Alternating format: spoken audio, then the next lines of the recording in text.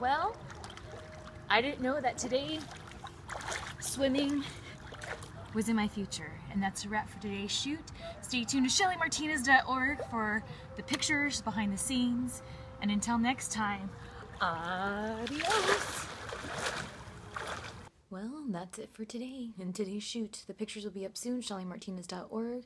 Make sure you become a Fun Time Gang member today so you don't miss them. We'll see what else today has to bring.